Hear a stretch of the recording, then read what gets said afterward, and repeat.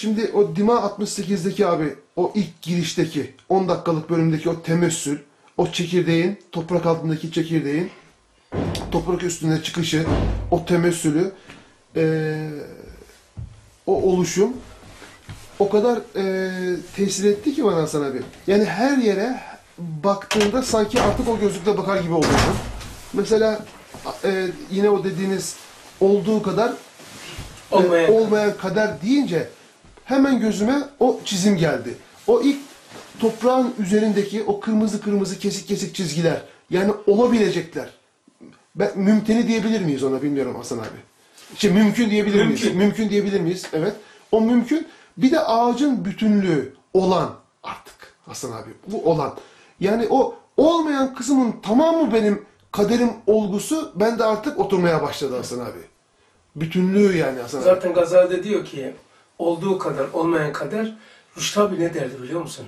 Çok büyük adamlar az söylerdi ama şey feci söyler derdi ki niye böyle oluyor dedikleri zaman niye böyle gitmiyor niye derdi ki lazımdır ki öyle olsun. Evet. öyle olması lazımdı. Şimdi o Üstad diyor ki dünya toprağı altında insan bir çekirdektir. Haliku habbi ve neva. Haliku hak, hakkı ve neva. Ee, bu şey toprağın altında. Peki toprağın altında isek ağaç nerede? Evet. Şu anda nerede?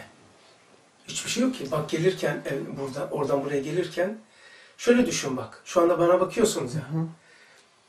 Hayatımın tamamında diyebiliriz. Çok istisnadır. Düşünce düşünürsen hariç. Şu anda da soruyorum size. Hep oradayım. Hiçbir zaman buraya şuurum gelmemiş pek.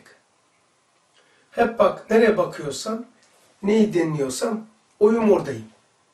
Yani bak şu an anlatamıyorum bunu. Dilime de getiremiyorum ki nasıl bir kelam bulacağım buna. Şimdi bakıyorum ya. Onu görüyorum, onu düşünüyorum. Ya kendim hiç yok. Hep hariçteyiz. Yani bak yürürken tek başıma yürüyorum. Ya düşündüğüm, düşündüğüm için oradayım. Hayal kurduğum için oradayım. Bakıyorum asfalta. Kenarlara bakıyorum. Hep hiç yokum burada ya. Hiç kimse yok hiçbir zaman. Abi bu şefkatin iltizamı olabilir mi abi?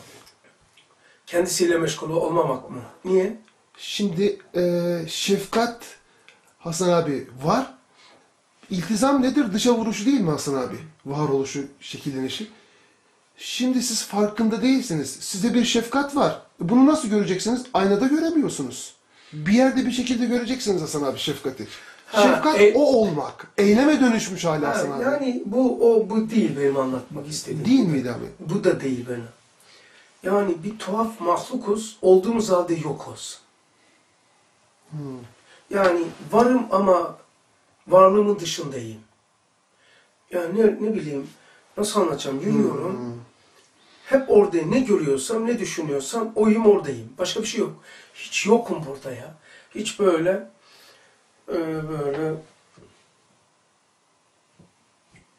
çok az gelmiş. Neyse bununla alakalı bir şeyler okuyayım. Abi, Cemaat gelene kadar. Tamam abi. Başlık şu. Hayatın anlamını aramak. Ne? Hayatın anlamını aramak. Bunu da malum yerde yazmışız. Birçok insanın inkarına sebep arzuladıkları hayatı Tanrı niye bize vermiyor? Tanrı niye diyorum? Ee, mesela olumsuzlukları yani onların dinsizlerin ithamı Allah hazım almam. Onlar Tanrı dediği için inkarcıların inkarlarına sebep 9. sözde geçiyor. Diyor ki geçebilirsin. Gel abi. Selamünaleyküm. Aleykümselam. Ey maşallah. E, e, Buradan geç. Yok geç geç geç serbest. Geç ya. İnkarcıların inkarına sebep 9. sözde diyor ki kafir diyor Allah'ın düşmanı bu şu sırdan geliyor diyor. Niye e, fıtratımın iktiza ettiği hayatı vermiyorsun. Yani mesela beka istiyorum niye fani diyeyim? Ölmek istemiyorum niye ölüyorum? Yani bugün al al onlar Allah demeyeceğim. Tanrı kendi uydurdukları Tanrı tanrılarına düşman olmalarının sebebi istedikleri hayatı bulamamalarındandır. Yani buna ihtiyaç duyuyor. Mesela niye? Aşırı muhabbet inkar iktiza ediyor diyor. Ustad da şöyle misal veriyor. Ayı geliyordu üzüm asmasına. Ağaç çok da harika üzüm ama çıkamıyor. Çekemiyor da. Ayı ne der? Zaten ekşiydi diyor. Gümler gider diyor. İnsan e, ulaşamadığı şeye murdar der. İnkarlarının sebebi e, ce, e, in- iman edecek kadar delil bulamadıklarından değil, aşırı hayatperest olduklarından bu hayatı o elinden alıyormuş inancından, inandıkları Tanrı, Tanrı bu hayatı elimizden o alıyor. O zaman kendi aklarınca amaçlarına ulaşamadıkları için. Dan dolayı. Yoksa e, aklı ve mantıklı olduğundan Allah'ı inkar etmek ihtiyaç değildir. Hiçbir hiçbir konuda ihti- bir ihtiyaç değildir. Ama Allah'a inanmak ihtiyaçtır. Çünkü insan böyle. Yaslanmak, istinad etmesi gereken bir yer aramak ihtiyacı doğasında vardır. Yani şu, herkes derler ya bir bayisi olur, amcası olur. Yani insan zor dur- durumdadır. Bir doktoru tanıması, bir zor durumda ailevi olur, kendi özel psikolojisi noktasında bir e, dinde teselli verecek bir şeyhi olur, abisi olur, hocası olur bir şey, birisi bulması insanın tiniyetinde vardır. Mesela bak misal vereyim. E, Ben yalan demem yani. Yalan demem ve keyif için demem. Bu kışın buraya gelmemin en büyük sebebi hafızdır. Hakikaten durumu ölümle yüzüşe idi böyle derim. İkinci derecede e, kendimdi. Yani böyle bir format attırmak. Zora kaldığım zaman böyle geliyorum bir format atıyor. Gidiyoruz. İhtiyaç duyuyorsun. Hem de ne kadar. Ama birinci derece onun için ihtiyaçtır. Çünkü veli nimetin kıymetini bileceğiz. Şimdi geri devam ediyorum. Diyor ki birçok insanın Allah'ı inkar etmek ihtiyaç değildir. Aşırı muhabbeti hayattan e, mu, adavete dönmüş. Adavet, düşmanlığa dönmüş. Muhabbeti hayattan kaynaklanıyor. Niçin istediğim hayatı o gücü olduğu halde vermiyor bana? Niye var olan elimdeki sihatı, hastalığı, hayatı, şey, sihatı elimden alıyor? Niye ölümü veriyor? Gücü yetiyor. Vermiyormuş. Bak, vermiyormuş, yetmiyor diyor. Hastalıklarla cezalandırıyor. Zannetmelerindendir. Yani istediğim hayatı vermiyor. Bir de ceza veriyor. Hemen şu önünüze şu şeyi koyarlar. Ben bile olsam Tanrı tövbe, ben bu çocuğu öldürmezdim. Benim çocuğumu niye aldı? Tamam? Hastalıklara, musibetlere, bak hastalıklara ve musibetlere anlamlandıramadıklarından, anlam yükleyemediklerinden, bu ne ifade ediyor? Sende neyi patlatıyor? Yani mısır, toprağa koyarsanız patlar ağaç olur. Ateşe koyarsanız güzel akşam çayda malzeme olur. Mısır patlamış olur. Öyle mi? Başka bir yere koyarsanız yem olur. Değirmene atarsanız un olur. Tamam? Mesela atarsan gide olur. evet. Yani gide çok ilginçtir. Ateşe atarsanız olur. ateş olur. yani mısır patlamış olur. Bir şey olmaz. Dedi. Şey olur. Toprağa atarsanız ağaç olur. Ee, şunu anlatmak istiyorum. Ee, hastalıkların uyandırdıkları ile sihatın bizde uyandırdıkları apayrı Tamamen zıt. Bir daha söylüyorum. Sihatın bizde uyandırdığı istidat çekirdekleriyle hastalığın uyandırdıkları istidat çekirdekleri apayrıdır. Hastalık hiçbir zaman dünyevi hisleri inkişaf ettirmez. Hiçbir tane. Hapishane gördüm, yaşadım. Oradakileri. Hastanede gittim, yattım da ve orada da bulundum. Hiçbir tane Allah'ın kulu ah olan ah buradan çıktığım zaman e, şöyle içki içeceğim, bir kilo içiyordum, bir teneke içeceğim, şunu yapacağım, bunu yapacağım demiyor. Mesela X, vermeyeyim ismini, Halit abinin dediği, bu köyde. O alemin adamı, vesile olan adamdı. Hastanede ne dedi?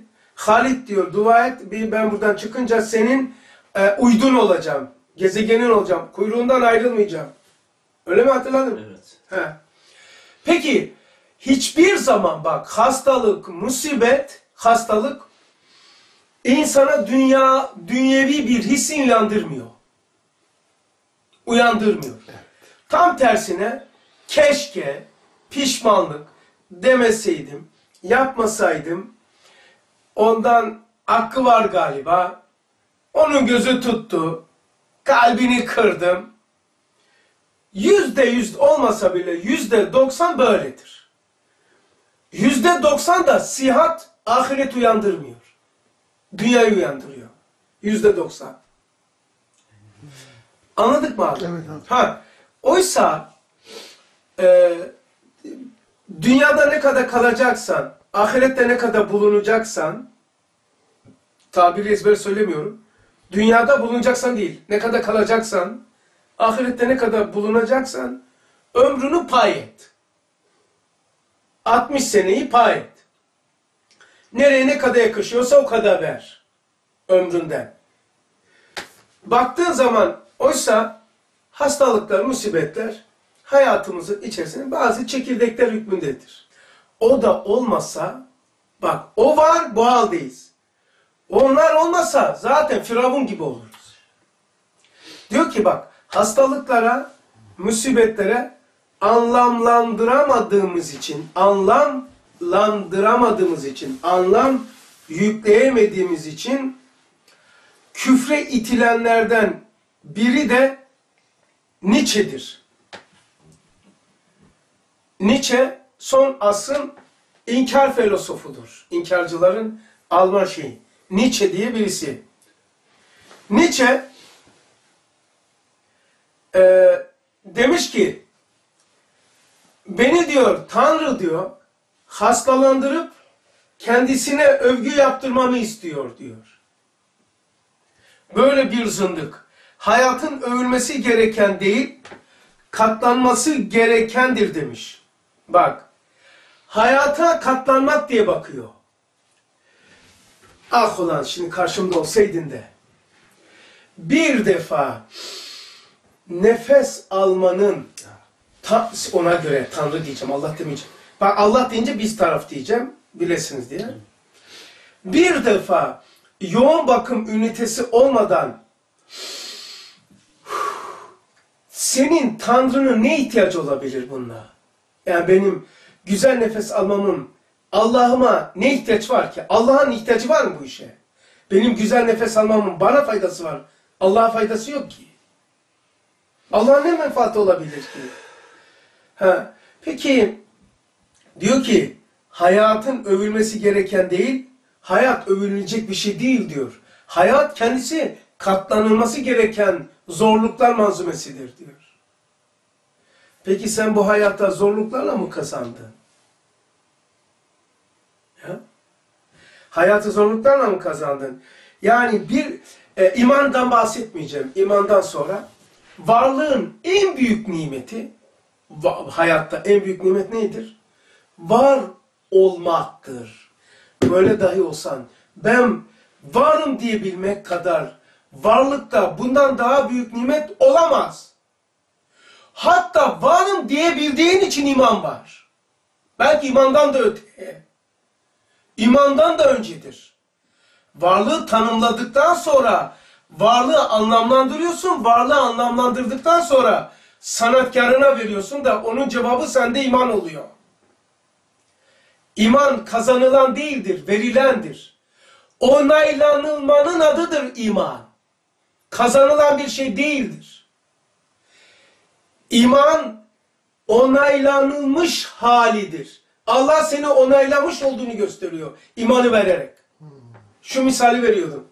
Sen en çok sevdiğini, hiç sevmediğini verir misin? En çok sevdiğin kızın namusun, karın. En nefret ettiğin, en alçak, en şahsiyetsiz, en rezil bir insana, Çayire'den İstanbul'a otobüse, ha bunu sana emanet ediyorum, şeye götür, e, e, şey, İstanbul'a götür. Eder misin emanet? Allah da en çok sevdiği şey imandır. İmanı sana vererek Allah seni onaylamış. Sevgisini. Ben seni seviyorum demek. Çünkü vermez sana. Nasip olmuyor. İman kazanılan değil, yapılan müracaata verilen cevaptır. Yani kabul edilen, kabul etmenin, tasdik etmenin e, mukabilinde verilen cevap imandır. Rahimin tecellisi oluyor değil mi? Rahimin tecellisi oluyor. Aman. Şimdi adam diyor ki cümlesini aldım. Bunu yazdık hapiste. Hayatın övülmesi gereken değil. Ne övünüyorsun diyor Tanrı'ya diyor. Ben diyor senin övündüğün şeyde katlanıyorum diyor. Hayatı nereden bakmış? Sonra dedim ki niye bunu görebilmiş? Çünkü hayatta böyle bakış da var. Böyle Allah'tır işte. Tektonik yapmamış. Bu dünya var ya, dünya. Ne kadar bakış açısı var? İnsanların sıfatları adedince baktığın gibidir olandır dünya. Baktığın gibidir. Olabilendir. Baktığın gibi olabilendir dünya. Bir daha. Bu dünya bakanın baktığı gibi olabilendir. Bunu böyle olamaz. Çünkü niye? Ancak Allah'la. Bir şey bakacaksın suya, tahta zannedeceksin. Olabilir mi? Olmaz. Tahta kim zanneder? Yani herkesin bakış açısı öyledir. Yani. Öyledir. Ha ama böyle bir sistemi dünyaya, öyle bir fıtratı bana koyarak dünyayı nihayetsiz yapmış. Tek şeyi nihayetsiz yapmış. Nietzsche böyle görmüş. Çünkü böyle bakış da var. Olmasaydı Tahayyül mü yapıyor bunu abi? bunu tasavvur yapıyor. Tasavvur mu yapıyor? Tasavvur ilk önce yapıyor sonra tahayyül ediyor. Mezarı görüyor. Ee, musibetleri görüyor. Kendisini ilk önce işte papazdı neydi işte babasını mı alıyor e, kader oluyor. Ne bileyim böyle bir hal geçiriyor. Musibetlerin içine kısmen kıvranıyor ama e, sonra demiş ki bu hayat övünülmesi değil katlanılması gereken bir şeydir. Ee, onun bir tane meşhur şeyi var böyle. Ee, Tanrı ölmüştür. Bu adam. Tanrı öldü diyor. Yani aleminde öldü, alemini genelliyor. Abi bir şey e, düşündüm. Az önce derse başlamadan önce de söylediğim gibi o temessül olayı yine o gözlükle bakıyorum her tarafa. Şimdi musibet ve belalar, dertler, sıkıntılar, hastalıklar bu manada. Baktığınız zaman aslında bu inkişaf. Sıhhat imbisat oluyor Hasan abi. Çok güzel. Yani Güzel yani e, musibetler, bu dertler, sıkıntılar biri iki, ikiyi üç, dördü beş yapıyor. Evet. O örneğiniz, misaliniz geliyor aklıma. O öğlen namazını kıldınız ya. Bir öğlen namazı daha, bir öğlen namazı daha, bir öğlen namazı daha. Bir başka bir şey. Dünkü öğlen namazını imbisatı genişletmesi, genişletmesi bu başka bir şey. Evet. evet. Kuşatması. Aynen. Evet. Yani demiş ki demiş gene aynı cümlesini koyup da çünkü tek boyutta değil. Eskiden de felsefe meşgul oluyordum. Demiş ki mutlu gönül rahatlığı istiyorsan onu söylemiş ama mutlu gönül rahatlığı istiyorsanız inanın. İnanabiliyorsanız ne mutlu size demiş.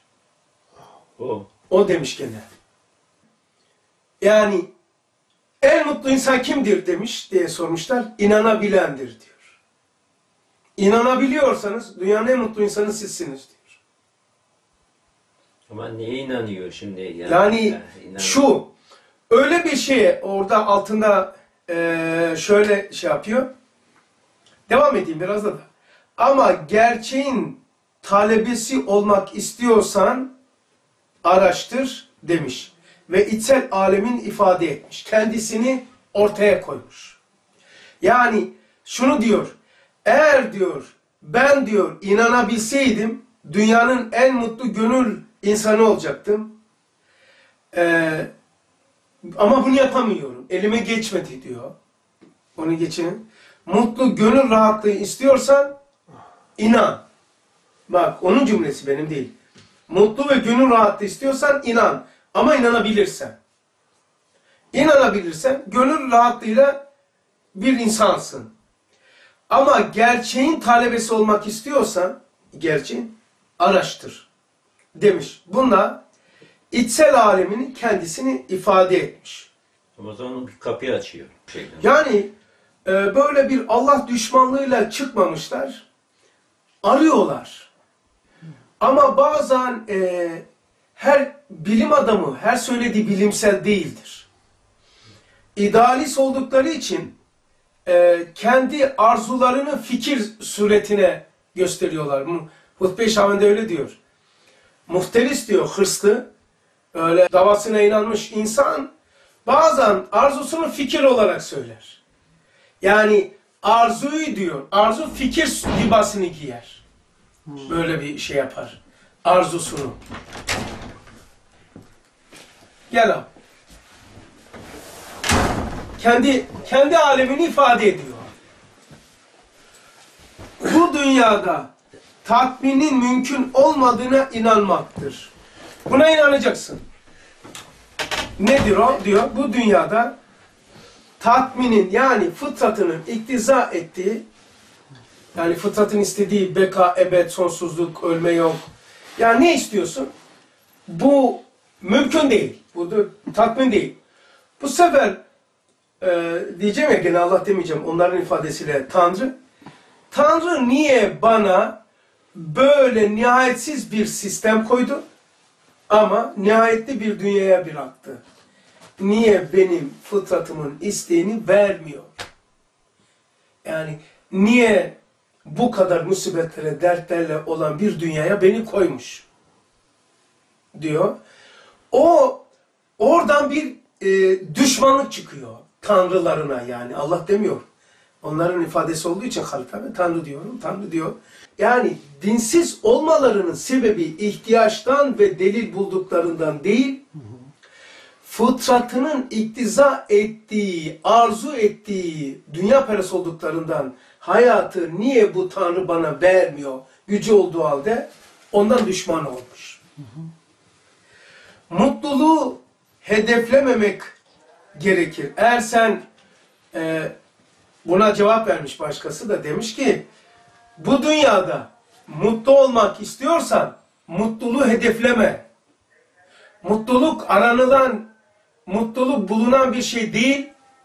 Mutluluk sende uyanan bir şeydir. Uyandırabilirsen. Çünkü yok yani. Yani hariçte aramışlar hep böyle şeyi. Çünkü o sende var.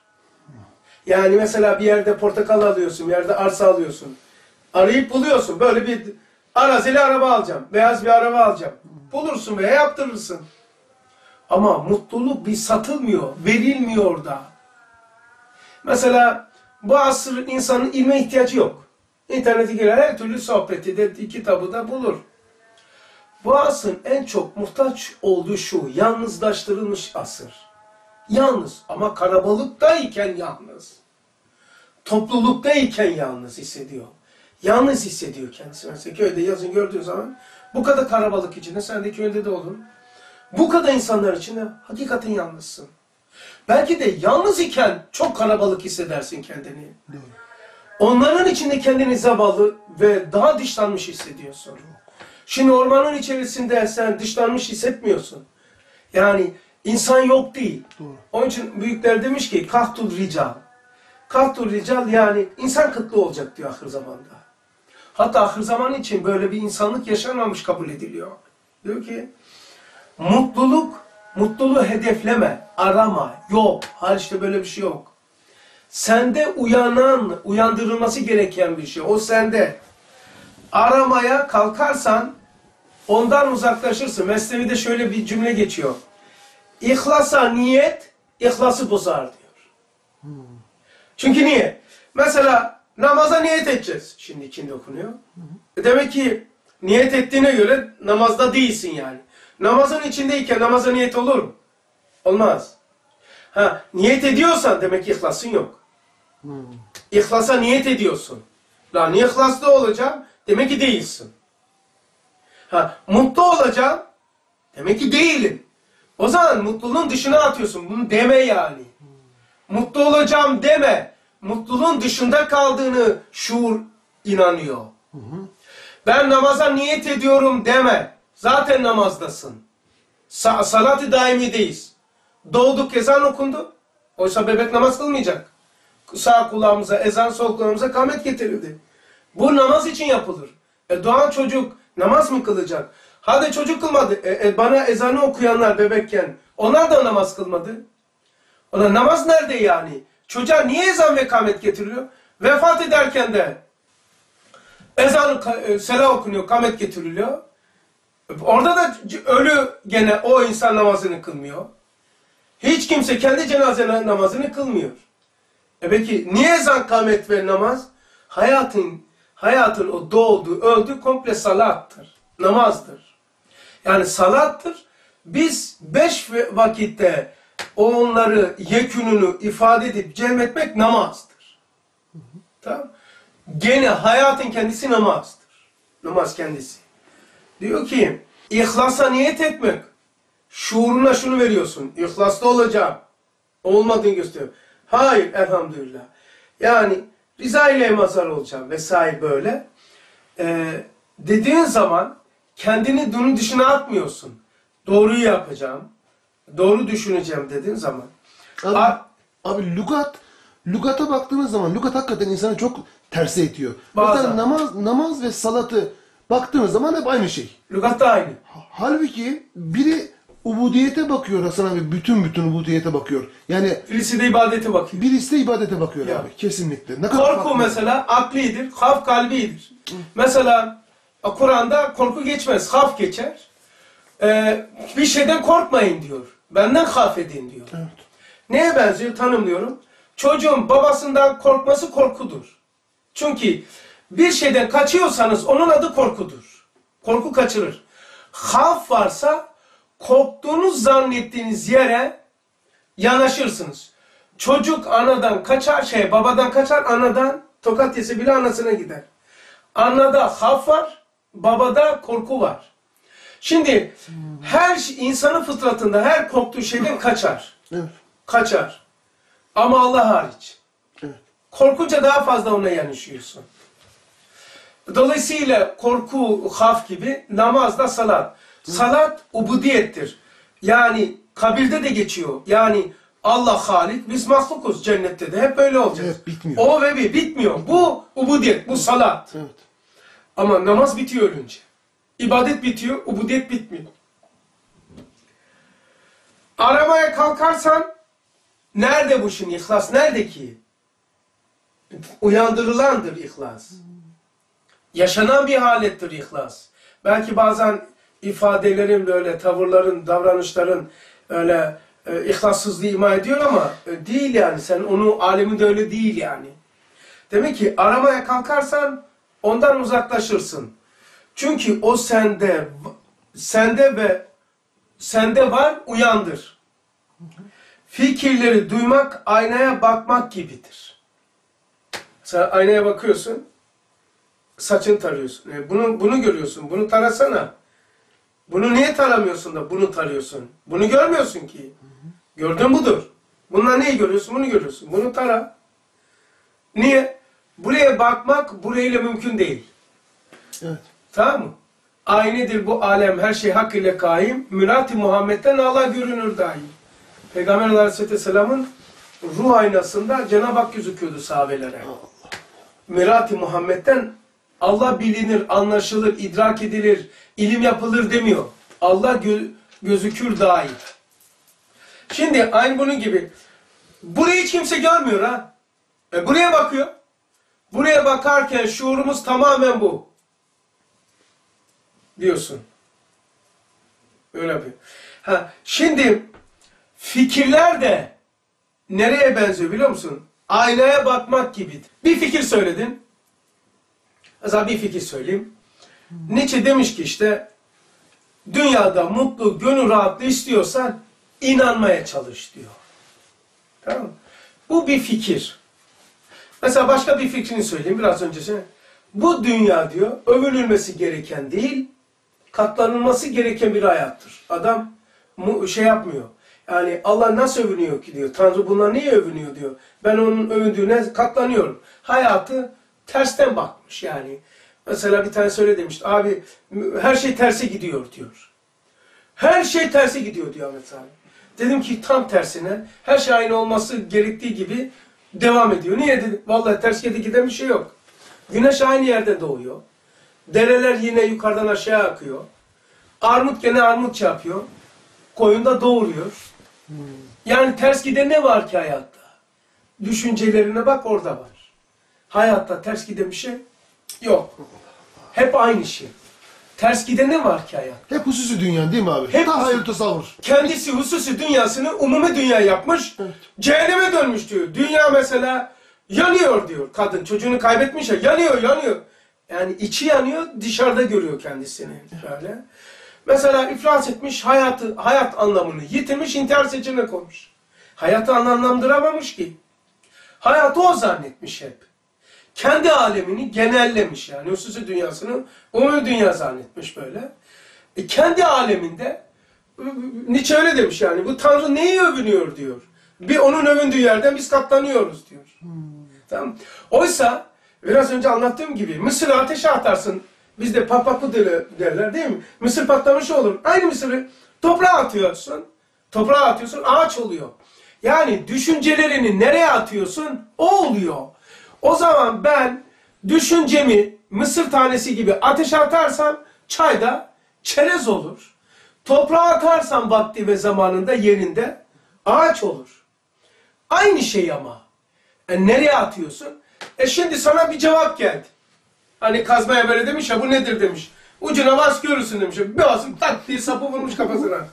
bu sefer demiş ki bir diye vay kazma diye bilmem ne. Hani kazmayı soruyordu? Biz de biliyoruz. Ha demek ki iç alemi bu. Mesela iç alemimizde öyle. Aynı insanız bu köye bakıyoruz. Çok mutluyuz bazen. Oo uçuyoruz böyle. Aynı ben iki gün sonra bakıyorsun burası cehenneme dönmüş. Ha, bileceğim ki benim alemimle alakalı. Fikirler bak sen bir fikir söyledin. Neymiş biliyor musun fikir? Aynadır o. Onunla bak aynayı tuttun mu? Ben kendim göremiyorum şu anda. Aynayı getir bana. Yani fikirlerini getiriyorsun. Kendimi görme, görmeme vasıta olduğu gibi fikirler de kendimi tanımaya vesile olur. Allah Resulü diyor ki ben bir aynayım. Herkes kendisini bende görür. Ya Resulallah ne kadar güzelsiniz demiş Ebu Bekir Sıdık. Doğru söylüyorsun ya Ebu Bekir diyor. Biraz sonra biraz önce Ebu Cehil'in yanında geçiyordu. Ve şey vardı Ebu Hüreyre demirbaş vakıf. Ebu Cehil uzaktan demiş ki ya Muhammed senin kadar çirkin bir insan görmedim demiş. Ona demiş ki doğru söylüyorsun demiş. Ya Ömer-i Hişam. Ömer-i bizim. Şimdi biraz önce ya Muhammed ne kadar çirkinsin diyor. Ona diyor ki doğru söylüyorsun. Biraz sonra oradan ayrılıyor. Ebu Bekir Sıddık radıyallahu yanına geliyor. İşte kader ilahi işte bunu söyletecek. Ya Resulallah bugün daha güzelsiniz demiş. Doğru söylüyorsun deyince e, şey demiş ki e, vakıf Ebu Hureyre. Ebu Hüreyre ya Resulallah ona da öyle buna da hangisi doğru? Ben bir aynayım. Herkes kendisini bende seyreder. Yani fikirlerde ayna kişiler orada kendisini seyreder. Biz zannediyoruz ki Halit abi bir fikir söyledi. Dur bir düşüneyim. Hayır düşünce yaparken onun fikir aynasında kendimi tartıyorum. Bu neyin nesi bakalım. Bütün sendeki hazineleri çıkartıyorsun. Onunla böyle tarıyor. X cihazı gibi. O fikir ha. Mesela Nietzsche böyle demiş. Hegel böyle demiş. Bir misal söyleyeyim. Bütün filozoflar istisnasız insanı tanımlarken sonunda hayvandır demiş. Münakaşa bir hayvandır demiş bir tanesi. İnsan nedir demiş? Ee, fikir üreten bir hayvandır. Mücadele eden hayvandır. Hep hayvan hayvan. Bediüzzaman Hazretleri bu kainat kitabının diyor çekirdeği aslısıdır diyor mesela. 20 tane böyle cümle yapıyor. Bir tane hayvandır demiyor. Tamam. Onu derken güya onu tanımlıyor. Aslında içini dışarıya çıkarıyor. Bak fikrimi diyorsun aslında içini dışarıya koyuyorsun. O koyduğun fikir bana ayna oluyor. Ben onunla kendimi seyrediyorum. Senin fikrin bana ayna. Allahsız Celle Celaluhu haşa kendinle uğraşamazsın. Çünkü aklın belası akıl olursa hangi akılla bu aklı halt edeceksin ki? Kötü düşüncelerinden kurtulmanın yolunu ararken düşüncelerinden kurtulmak, kurtulamazsan başına bela. Düşünceler seni kemiriyor. Kurt gibi yiyor seni. Neyi kullanacaksın? Şimdi düşün. Düşüncelerim düşüncelerine bela. Bu düşüncelerinden, bu düşüncelerinden hangi düşüncelerinle kurtulacaksın? Nasıl kurtulacaksın? Aklının belası akıl olursa kurt gövdeye girdi. Sen bunun içindeki kurtu tornavidayla alamazsın ki. Penseyle de alamazsın. Mikrop alamıyor. Odanın içerisinde duman alabilir misin penseyle? Aklın belası akıl olursa, düşüncenin belası düşünceler olursa bu insan nasıl bunu, bundan sıyrılacak? O zaman bu el yapılırken bu el kullanılmadı der Kalın Mesnevi Nuriye'de. Bu göz yapılırken bu göz kullanılmadı. Bu akıl yapılırken bu akıl kullanılmadı. Bak bu göz nereye takılacak? Adam gözlük gibi diyor, diyor şu alarda. 10. sayfada diyor ki bana bu gözlüğü veren zat gözüme baktı. İçine bakıyor ilk önce. Sonra gö- gö- gözümün gördüklerine baktı. İki. Sonra ona uygun bana bir can verdi. Uygun olup olmadığını. Benim dışında bir şey. Ha, bu gözü buraya çakan zat buraya olmaz dedi. Buraya da olmaz dedi. Buraya da olmaz dedi. En iyi yer burası. O zaman bu gözden önce göz olması lazım. Buraya çakması için. Demek ki bu gözden önce göz lazım. Ha, bu göz böyle olduğu gibi bu akıl yapılırken bu akıldan önce akıl olması lazım. O akla bu aklı bağlarsan o zaman aklın belasından aklından sıyrılırsın. O bu aklı ona bağlarsan. O da vahiy. Vahiy nasıl yapacağız? Vahiy Kur'an ama e, ya biz Kur'an'a direkt. La kardeşim İmam Azam e, tabi indi biliyor musun daha? Sahabeden de ders almış. İbn Mesud'dan ders almış. İmam Azam. Daha peygambere ne kadar yakın sahabe. Tabi, sahabe, tabi'in imamı ya. Kur'an'ın ruhundan o kadar uzaklaşmış ki iştihat edecek imamlara, tabiinler bile imama muhtaç olmuş. Şimdi sen direkt Kur'an'dan gideceksin. O da tabi'in imamıydı Hasan-ı Basri Hazretleri. Hasan-ı Basri Hazretleri e, Has, e, Hazreti Ali'nin talebesi. İmam-ı Azam, İmam-ı Azam Efendimiz e, tabi'in imamlarından İbn Mesud'dan ders almış. Sahabeden ders almış. E, peygamberin amcası. Neydi o ya? İlk e, tefsirci. Kur'an'ı tefsir eden, Kur'an'ı anlamlandıran e, di- di- gelir şimdi aklıma. Pe- Peygamber zamanında ayetler nüzul ederdi. Diğer sah- sahabeler eşit değildi ki. Hazreti Osman. Yok yok yok. Amcası amcası. Hamza Amca. E, aha. Mı? Yok yok e, o değil. Bir tane de var böyle. E, o Kur'an'ı ilk ilk müfessir, ilk tefsir eden Kur'an. Yani sahabeler eşit değildi. Bazı sahabeler ya çok Abbas. Abbas, Hazreti Abbas Allah razı olsun. Hazreti Abbas Hazretleri radıyallahu anh Allah şefaatine mazhar eylesin. Ya ya efendim bu, bu ayet ne demek derlermiş. Ya mesela Hazreti Ömer'in oğlu Abdullah Ulu meclislerindeydi ufakken. Ona sorarlarmış. Hazreti Ali'ye sorarlarmış. Lan direkt niye onlar yapamıyor? Sahabe Hazreti Ali'ye soruyor. Ebu Bekir'e soruyor Sı- Sıddık radıyallahu anh. Hazreti Abbas'a soruyorlar. Lan sahabe soruyor ya. Şimdi sen direkt Kur'an'dan gidersin. Lan sahabe ya. Sahabe ya Allah'tan kork lan. İmam Azam daha tabi'in imamı. Yani gittikçe açı açılmış. Kur'an'ın ruhundan uzaklaştıkça insan, insan böyledir ya. Devamlı olmakta olandır. Değişendir insan. Sonra böyle insanlara ihtiyaç var. Peki bu aklını aklın ya- aklı yapana tabi etmek ne demek? Asıl imamına tabi edeceksin. Başka şans- şansın yok. Ben de okurken, hapishanede mesleği okurken aldığım no- notlar bunlar. Oradan. Oradan aldığım notlar yani. Tamam mı? E mesela hep cümle cümle farklı. İhlasa niyet etmek İhlası götürür. Nasıl götürür ya? Mesleği de geçiyor bu. Ha niyet ediyorsan dışındasın demek ki. Tamam.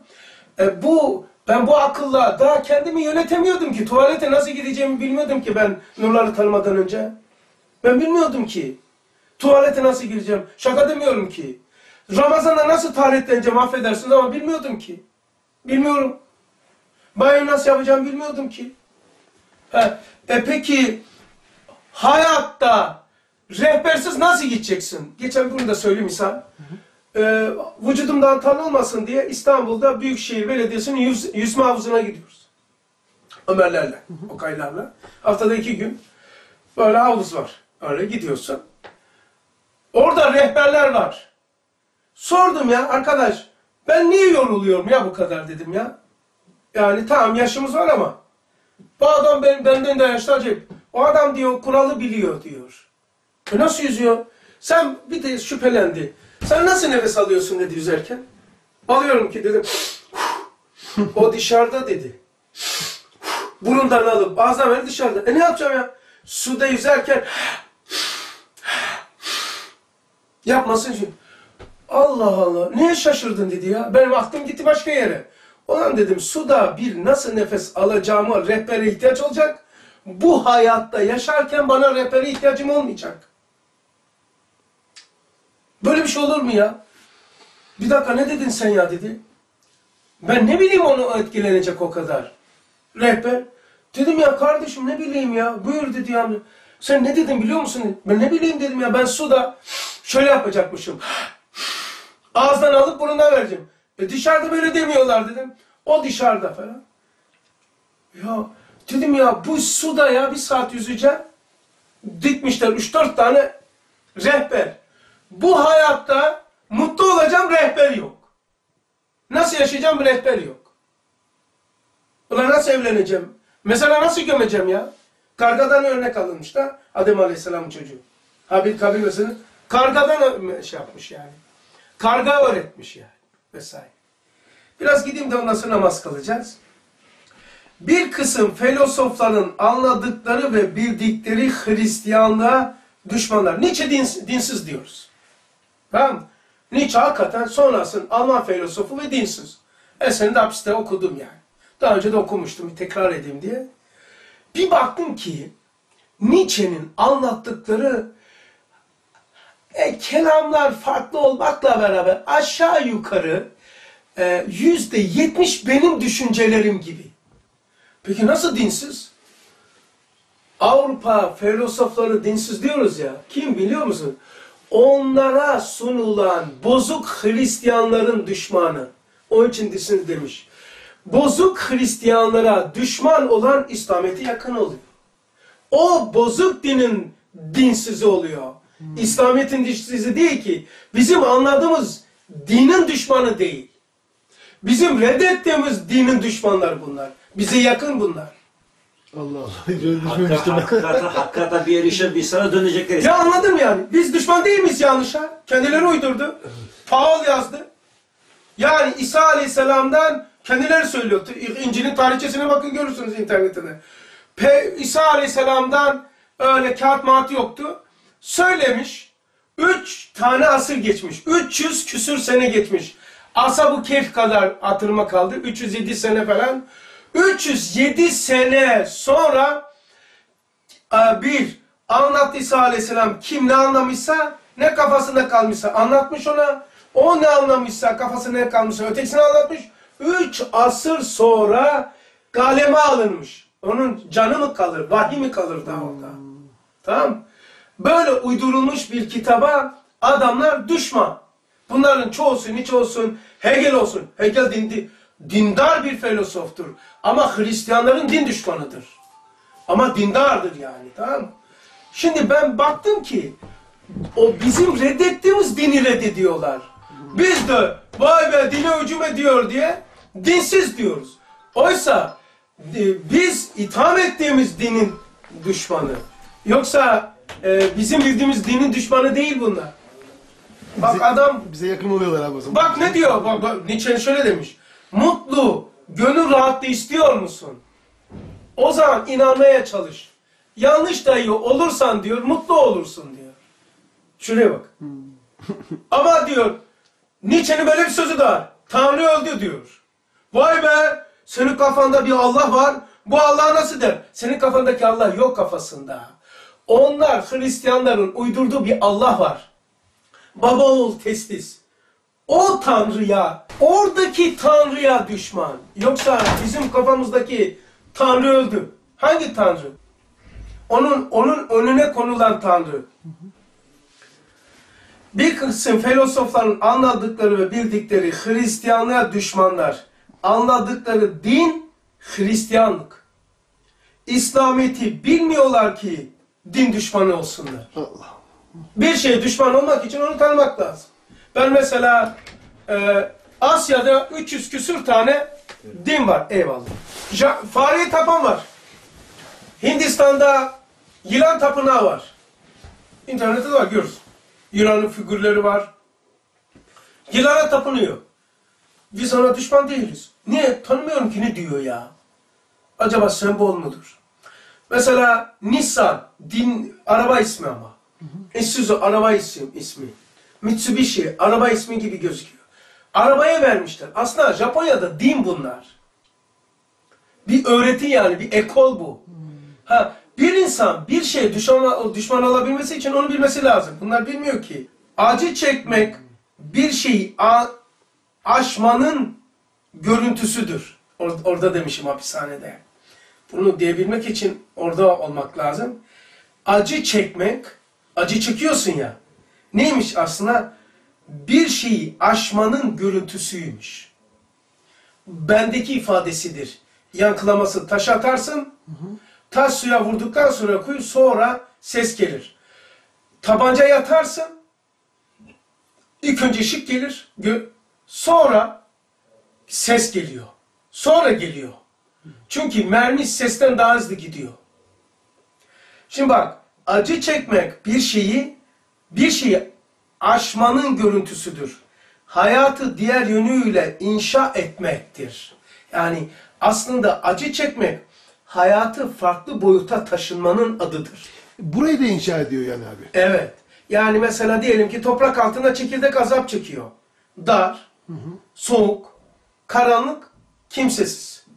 Orada sıkılıyor. Acayip azap çekiyor. Sıkıyor yani. Bastırıyor. Toprağın altı ya. Birisi geldi basıyor. Yağmur çağır bilmem geldi onu berbat etti. Ama en sonunda yeter artık dedi. Bir patlattı ki yeter artık hiç beklemediği bir şey ki. Vurdu ya kolunu bir kere. Aa! Bir baktı ki güneş alemi var, hava alemi var, dağlar var, tepeler var. O yeter artık diye bağırmasaydı çekirdek dünya yüzüne çıkamayacaktı. Başka bir şey taşınmanın adıdır. Acı aynı zamanda bulunduğundan çıkmaktır. Mesela ç- çocuk diyor mahruti tünelden dünyaya gelmesi için şu aydınlık alemine e, şey yapması lazım. Mahrutum tünelde sıkıntı çekmesi lazım. Ben bugünkü bir şahit olduğum bir şeyi anlatayım size. Allah şahit. Allah Allah yalana şahit olursa kafir olursun. Bi- Bildiğim halde söylüyor. Cuma'dan önce şu mezarlık var ya.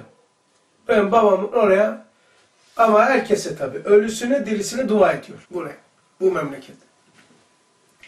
Hiç alakası yok. Bak Allah şuna şahit. Hiç alakası yok. Yani ben düşünce zaten 10 küsur dakikam kalmış. Yetişeceğim. Dedim ya bir Yasin okurum yetiştiririm ya. Her sayfaya bir dakika olsa 5-6 dakikada bitireyim. Yasin okurken kal böyle o kadar acayip oldum ki e, ben Yasin okuyorum. Hiç fikir mikir yok ya. Zamanım yok fikir. Düşün soru sormaya zamanım yok. Dedim acaba duyuyorlar mı diye birisi sordu. Subhanallah. Şu ölüler şimdi duyuyor mu? Vallahi billahi tallahi ben sormadım. Ama duydum. Dedi ki acaba duyuyor mu dedi. Ben de İnan birinci sayfanın ortası sonuna doğruyum. Allah Allah. Ya bana sorsan tabii lan diyeceğiz. İtikadımız var ya. Dedi ki ne cevap verdi biliyor musun? Tamam falan demedi öteki taraf. Dedi ki anne karnındaki çocuk annenin psikolojisini duyduğu rahatlığı gibi bunlar da duyuyor dedi. Anne karnındaki çocuk. Anne karnın anne karnındaki çocuk, annenin psikolojisi, annenin inancı, annenin helal gıdası, annenin davranışları çocuğa aktarılıyor ya. Aktarılıyor mu aktarılmıyor mu? Aktarılıyor. O çocuğa desen ikiz olsa, Ahmet Mehmet iki tane ikiz olsa. Ahmet dese ki Ahmet, buyur Mehmet. Biz annenin içindeyiz. Ya kafayı yedin ha ne annesi ya? Ya annem anneymiş. Anne ne demek oğlum der ya. Anne ne demek? Anne karnındaki çocuğa göre anne ne demek? Annenin tipi onun, on, onlarca malum olur mu? Annenin tipi nasıl? Annenin inancı nasıl? Görüntüsü nasıl? Anne ne demek ya anne? Çocuğa göre anne ne demek anne karnındayken? Anlatabilir misin? Biz de Esma'nın içinde olduğumuz için Allah'a böyle anlatamıyoruz. Evet. Evet. Anne karnındaki çocuk anneyi şekillendirdire, şekillendiremediği gibi. Anne karnındaki çocuk annenin duygularını, inançlarını tartayıp düşünemediği gibi biz de Cenab-ı Hakk'ın esmasının içindeyiz. Onu da biz böyle beceremiyoruz. Şimdi bana verilen ce- cevap şuydu. Bana değildi. Bir tanesi dedi ki şimdi sen okudun duyuyor mu ki dedi.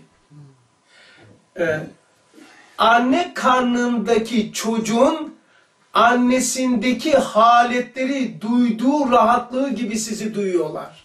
Allah. O kadar hoşuma gitti ki çünkü anne karnına benziyor. Zaten mezarlığın şekli de öyle. Abicim bir şey söyleyebilir miyim? Bu kelimeyi bir daha tekrar eder misiniz hocam? Sen yeni girdiğin için söyleyeyim. Bak. 10 dakika bir şey var Ahmet Sami. O kadar tabi. 8 dakika bir şey var.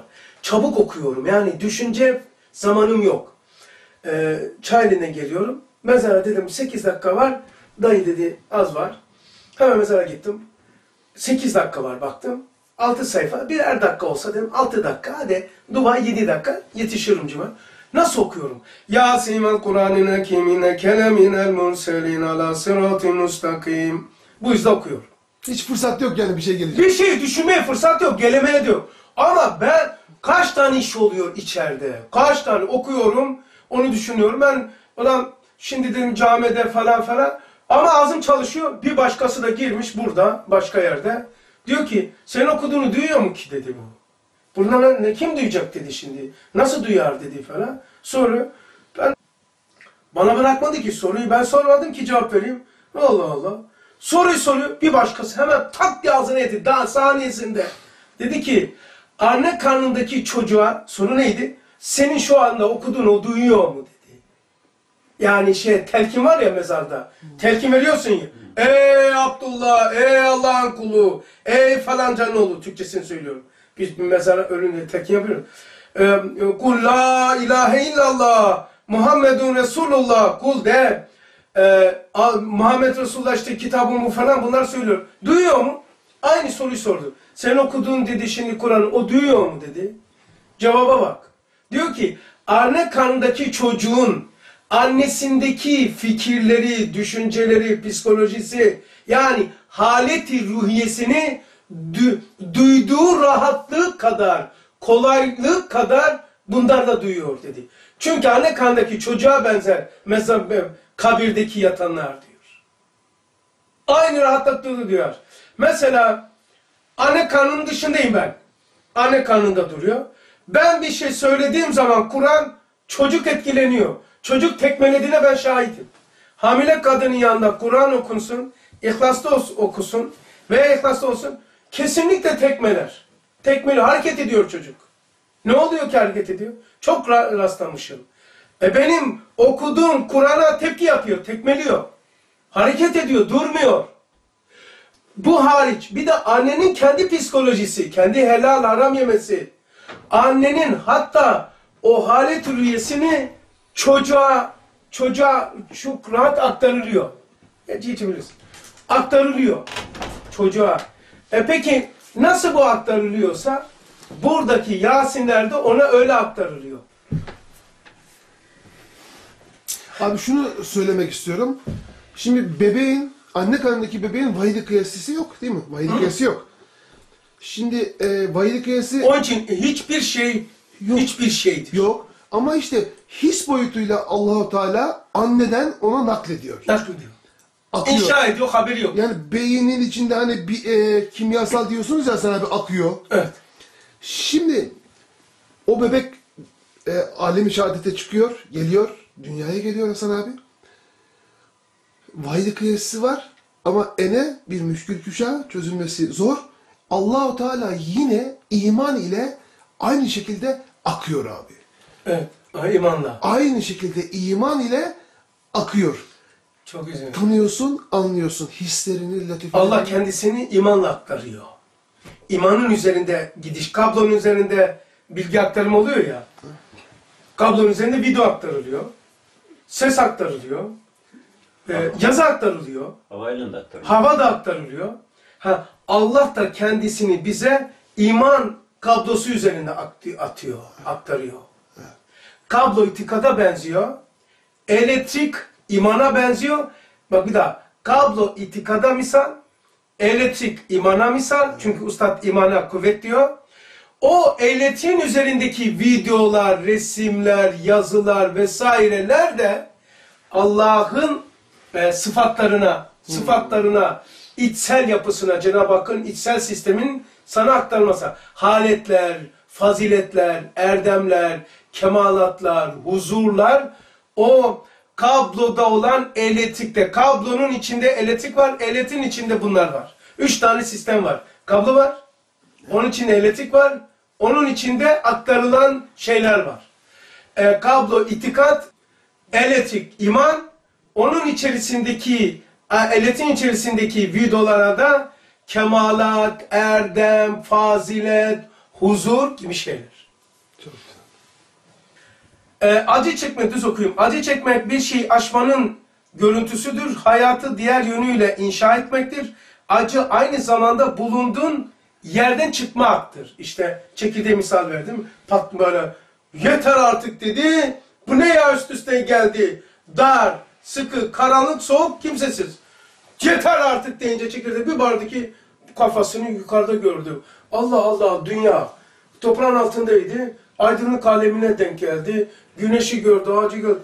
Allah Allah ya. İyi ki bağırdım, iyi ki feveran ettim. Tamam? Demenin şeyi bu. Sıkıntının bir sebebi de ben ben olmaktan çıkıp başka bir şey bir şey olmak isteğiyle orantılıdır. Yani ben ben dedikçe sıkıntıdan çık kurtulamayacaksın. Bize biz, biz biz dönüşmeye, başkalaşmanın ifadesidir sıkıntı. Nasıl ki e, biraz önce şey yaptım, çocuğun dünyaya gelmesi için mahru tünelden diyor, sıkıntı çekecek. Toprağın altında kalıp çürüyüp mahvolacak ama dünyaya çıkması için bir sürü sıkıntı çekecek. İşte sıkıntının bir sebepleriniz yukarıdan saydı. Ay- Ayeti farklı yorumlamaktan kaynaklanıyor. Aslında o sıkıntı dediği dışarıda öyle bir şey yok. Kendi hususu dünyasını umumi dünya zannediyor. Ee, başka bir şey de e, bir şey olmanın adına verilen bedeldir. Burada da diyor ki ben ben den çıkıp biz biz olmaya e, verilen bedeldir bunlar. Ahirette ahirete inanmayanlar için 6 ay sonrayı arzulamak mantığı olur mu? Yani e, bugünle yarın arasında nispi farklılıktan öte bir şey yok. Şey demiş ki Honda, Hyundai değil, Honda sahibi demiş ki, hep onu hatırlarım bu şeyde. Filozoflarına demiş ki, dün ile bugün arasında fark var mı demiş. Yani bazı işte bardak buraya geldi, kalem geldi. Ertesi gün bu vardı. Hani nispi itibari şeyler var ya görüntü. Onun dışında temelde bir farklılık var mı dünle bugün? Yok demiş. Hakikaten yok. Allah Resulü ne demiş? İki gün eşit olan kayıptadır. Dünle hakikaten dünle bugün aynı yani. Eğer din yoksa. Din yoksa ne var yani? Mutfak, tuvalet. Doldur, boşalt. Yatak, iş. Mutfak, tuvalet, yatak, iş. Başka bir şey var mı? Yok. O zaman dünle bugün eşitse yarın da eşit. Yarın ne fark olacak ki? Market açmış adam. Malzeme geliyor, satıyor, bankaya koyuyor. Malzeme geliyor, satıyor, bankaya koyuyor. Başka ne var? Başka bir şey var mı? Eğer din yoksa, hayatı anlamlandırmamışsa, o zaman demiş ki, dünle bugün eşit mi? Eşit demiş. Aynı arabayı satacağım demiş. Aynı miktar araba üretilecek. O zaman yarın da eşit. Evet dedi. Maalesef yarın da aynı. O zaman dedi ben niye bu sıkıntıyı çekeyim ki dedi. Adam intihar ediyor. Din olmayınca mesela adam bir kablo koptu diye Yavuz Sultan Selim köprüsünü yapılırken Japon mühendis koptu diye Osman Gazi. Osman Gazi ha, onu ha. Adam intihar ediyor. Japon çok en büyük adam. Oysa kablo hatasıymış. Adamlarda kusur, hata yapmak sıfır. Niye? Hayatı kablodan o kadar basit ki. Hayatı anlamlandıramamış hayatı kabloyla anlamlandırmış. Hayatı zannetmiş ki hep şey köprü mühendisliği. Hep bu zannetmiş. E, hayat anlamını yitirdi. Niye benim yaptığım şeyde köprü e, kablo koptu. Yani, kop- koptu koptu işte. Hayatı bu kadar yani. Tamam. Şimdi ahirete inanmayanlar için soruyorum. 6 ay sonrayı arzulamak. Ah 6 ay sonra bak neler oluyor. Niye arzuluyor ki aynı şeyi? Şimdi Ocak'tayız değil mi? Mayıs'ta aynı olacak. Biraz güneş hava sıcak olacak o kadar. Kiraz olacak şimdi yok. Yani hayatın ne farkı olacak? Aynı dere, aynı güneş. Bir şey yok ki ya. Bir meyveler değişecek. O zaman 6 ay sonrayı ve öteki zamanları aramak mantığı yok. Ama Müslüman böyle değil işte. Çünkü Müslümanın iki günü eşit değil. Bir namaz kılsa bile dünyası değişiyor. Bir şey, her şey olduğunu bil, bilme, bilmeyen, ha, bilemeyen, yanı sıra ne olduğunu da bilmek. Yani bir şey, her şey olabileceğini bilemeyen adam, yani her şeyi bilemiyor. Her şeyi de anlamlandıramıyor. Mesela çekirdekten ağacı bilemeyen, göremeyen çekirdeğe anlam yükleyemez. Çünkü çekirdekten ağacın olduğunu göremeyen bir insan çekirdeğe ne diyecek? Hiç ömründe karpuz görmedi. Karpuzun çekirdeğini göstersen ona ne anlam taşıyor ki? Çekirdek hiçbir mana ifade etmiyor. Ahireti aleminde olmayan bir insanın bu dünyada da yaşamanın hiçbir mantığı yok ki. Ne mantığı var ya? Dün aynı. Gel gel sıkıntı çek ondan sonra toprağa git yok ol. Başka bir şey var mı? Yok. Ahiretsiz bu dünya anlamı yok. Bir şey her olduğunu, her şey olduğunu bilmeyin, yanı sıra ne olmadığını da bilmeyin. Neyse.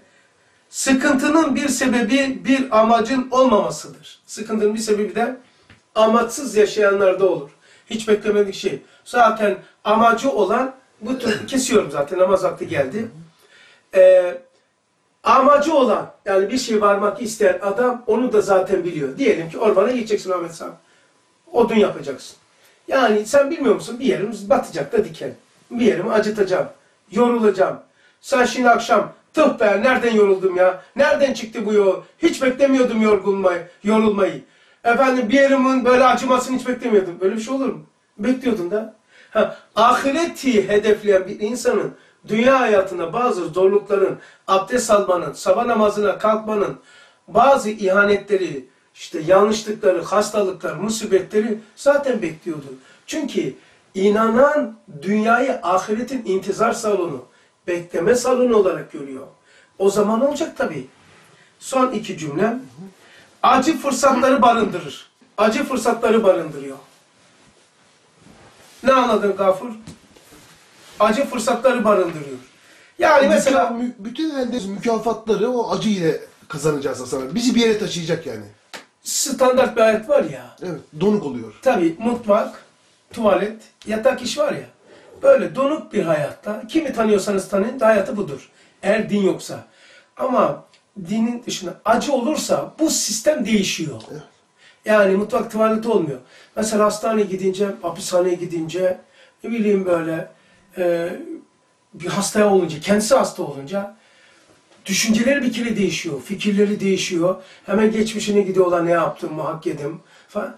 Yani e, insanın geçmişinde yaptığı bir sürü eksiklikleri anlamlandırmak, onları telafi etme fırsatını buluyor.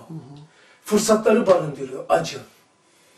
Yani mesela bir şey olduğu zaman ne diyorsun? Ya hakikaten insan tanımak zormuş. Vay be tanıyamamışım. Demeyiz mi? Ulan yüreğimizde ne yılan varmış. Aa nasıl anladın?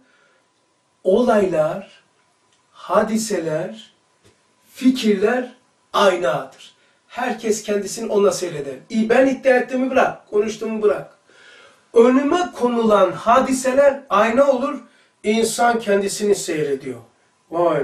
Bu bir taraf, bu başka taraf. Bu hakkımı gösteriyor, bu hissiyatımı.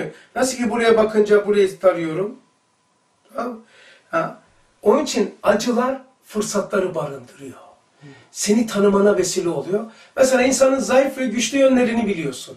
Mesela ben hapishane şeyinde yani çok hakikaten görmüştüm. Halit abi de burada biliyordu o. 6 ay tepelerde kalıyordum. Ama böyle bir şey görmemiştim. O kadar yani. Onlar da benim şeylerimiz. Bazen alıyorlar. Ama bu son hadise öyle değil. Bu sefer ne fırsatı var?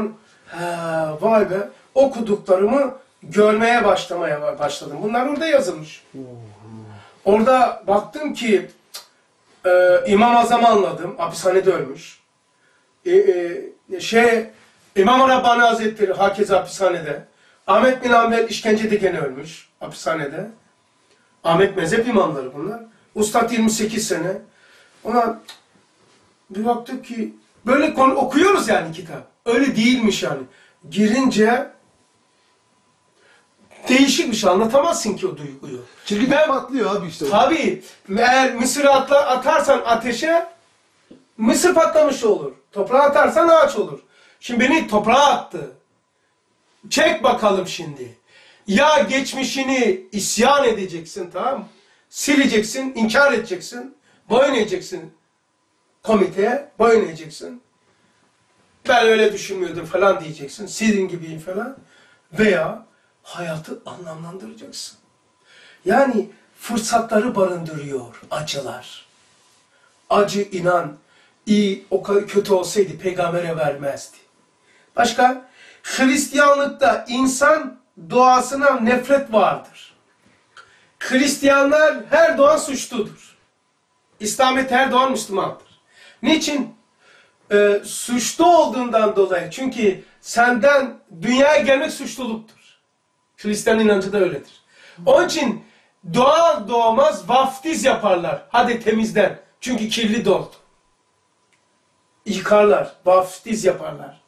Çünkü insanlığın suçu için İsa Aleyhisselam bedel ödedi derler. Gönderirken abi. Bu nasıl bir işte? Gönderirken yıkamazlar. Doğduğu zaman vaftiz yaparlar. Yıkadılar ya temiz daha. Daha evet. Seni devam yani Hristiyanlıkta o şeyinde okudum. Hristiyanlıkta insan doğasına nefret vardır. Mesela Japonya'da bu kadar hakikaten gelişmiş değil mi? Uzaya şey yapıyor şimdi. Kocası ölünce kadının yaşam hakkı yokmuş. Onun için intiharlar burada çok. Kadın öldürüyormuş. Mesela bu kadın modern değil mi Almanya'da? Diyeceğim şeyi şaşıracaksınız. İki tane aynı işi kadın erkek yapsın kadın az maaş alıyor. Aynı iş yaptıkları halde. E, Türkiye'de öyle değil mi? Evet, o kadar değil. Aynı mühendis aynısını alıyor. Ha, Kadın erkek aynı meslektaşları olsun. Aynı, aynı masada oturuyorlar. He. Kadın azalıyor. Seni devamlı onaylayanın ve devamlı tenkit edenlerle beraber olmayın.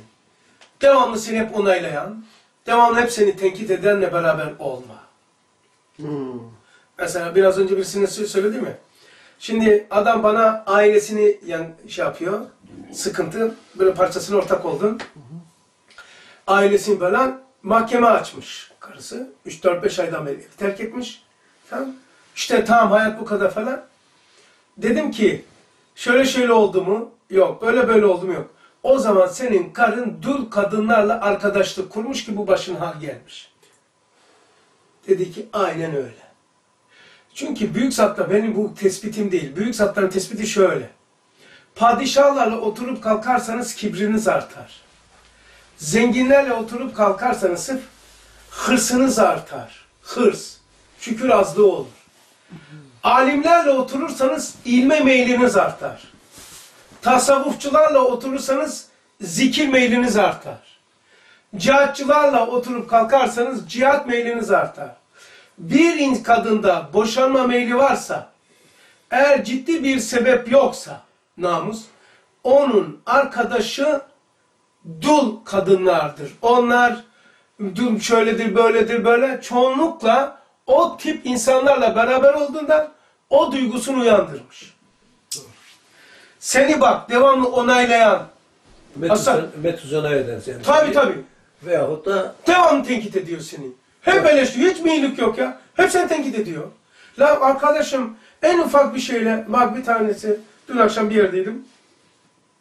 Senin o söylediğin adam var ya dedi. He. Ya bırak dedi beş para etmez dedi. Allah niye dedim ya. Ya dedim. E niye dedim söyle. Ya e, ona dedi şöyle bir iş verdim. Yapmadı dedi. Ha. Dedim ki ya filani hep o mu dedim başka tarafı yok mu? E bana bakan bu dedi ya. Ama dedim daha böyle yaparsan dedim bırak onu deyince çöpe atınca o güzel taraflar da çöpe gitmiş dedim ya. Ne çöpe gidecek dedi ya. Onun imanı var dedim. İmansız olduğun yok var dedi. E bırak yani. Dedim imanını da çöpe atarsan Allah gücenmez mi? Benim imanımı çöpe atıyorsun diye. Ha senin. Onun imanı var. Ne onu çöpe atıyorsun? Onun da imanı var. Allah'ın koyduğu nur var orada. Gitti, gitti, geldi. Ya dedi, hakikaten çok farklı düşünüyoruz dedi ya bu dünyada sizinle biz dedi ya. Ondan sonra çok farklı insanız dedi ya. Niye dedim dedim. Ya dedi ben ona kızdım dedim. Sen götürdün dedi. Allah'ın onun koyduğu imanı çöpe atıyorsun. Dedim. Dedim ki bu söz benim değil. Buna benzer Bediüzzaman nasıl dedi? Bediüzzaman Hazretleri diyor ki iman de, Uhud dağına benzer. Beşeri kusurlar çakıl taşına benzer. E çakıl taşına de- değiştirilir mi ya? İmanı var ya. Niye çöpe atıyorsun? Dedi ki insaflı ya dedi ki vallahi çok doğru söyledi dedi ya. Dedim ya falanca işini yapmadı diye koca o adamı sen nasıl çöpe atıyorsun? Allah isyan edenin, namaz kılmayan, oruç tutmayanı çöpe atmıyor da dedi. Sonra ne dedi biliyor musun? Gitti abi. Eğer dedi insanlara ve hayata böyle baksam dedi, ahirette cennete gerek yok dedi. Cenneti yaşarsın dedi. Burada. Evet. Onun aynı dedi bana. Dedi ahiretteki cenneti değil. inan cennet, dünya cennet olur. Sana öyle yapsa kızmasın. Niye kızayım abi dedim. Öyle ne, öyle şeyler yaptılar ki ya sen de duydum telefonda. Telefonda diyor ki derdini birisine anlatıyor. O da diyor ki Hasan, Hasan, Hasan emsal. Hasan'ı Hasan'ı ara dedi. O da dedi ki ömrümde hiç aramadım ki dedi. Onun hep aleyhinde bulundum dedi. Şimdi böyle bir derdim olunca Hasan'ı nasıl arayayım dedi. Bana dedi ver yansın yapar dedi. O ona diyor ki o da sevmiyor beni. İkisi de beni sevmiyor. Biz dedi Hasan'a yaparız ama Hasan'ı biz arayınca Hasan bize yapmaz dedi. Sen onu ara dedi. Bir de onu bana söylüyor. Ve olay yarım saat konuştuktan sonra diyor. Ha? Yani e, şimdi, niçin örnek veriyorum? Dedi ya sizin gibi hani Risale'nin talebelerini kastediyor. Sizin gibi böyle hayata baksak dedi hiçbir şeysini ezemez ki dedi ya. Ben dedi bugün moralım bozuldu dedi ya falan mandalinasını falan ta, ta, tarumar etmişler tamam mı? Nereden etmişlerse adam. Ona, ya dedi öğlene kadar dedi sabah gittim öyle öğlene kadar dedi onun psikolojisini çıkamadım. Ya sen ne dersin? Vallahi rızkım değilmiş derdim. Netice bu. Çünkü olduğu kadar olmayan kader. Başka ne diyecektin ki? Rüştü abi var dedim. Bana derdi ki Rüştü abi niye böyle oluyor? O lazımdır ki öyle olsun. Öyle olması lazımdı. Allah Allah. Lazımdır ki öyle olsun. Meşhur sözüdür. E Gazali de der, olduğu kadar, olmayan kader. E din ne diyor dedim sana? Rızkın değildi. Böyle yaptı gitti. Sen şey yapayım, dur.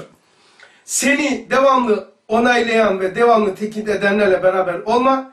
Sıra dışı bir şeyi arıyorsan ama sıradan yaşıyorsun. Sıra dışı bir şey mi bekliyorsun? Allah sana muamele etsin. Sıra dışı mı yükleme yapacak sana? Bilgi, fazilet vesaire verecek. Sıra dışı bir şeyler istiyorsun da artık. Ama sıra sıra içi yaşıyorsun. Biraz sıradan çık ki sıra dışı muamele göresin.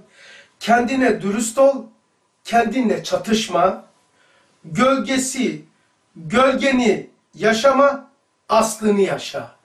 Kötülüğün en çok sevdiği şey kuralsız.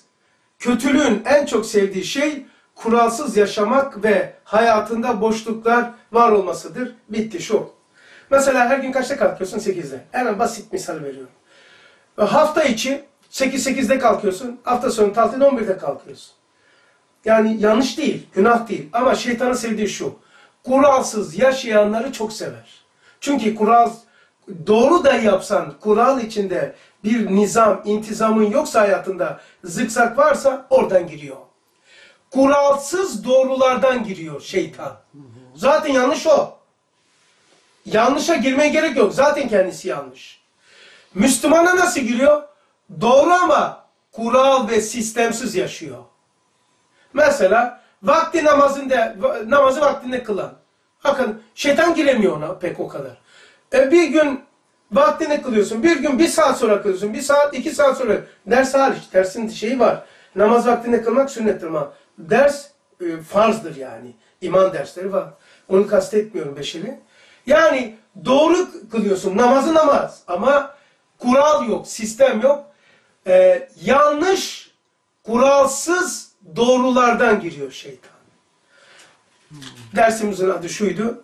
Hayatın anlamını aramaktı. Böyle. Ama bu acı çeken bir hücrede yazılmıştı. Biz gelene kadar ikindiye kadar dedik 5-10 dakika bir şey okuyalım. Biz erken geldik.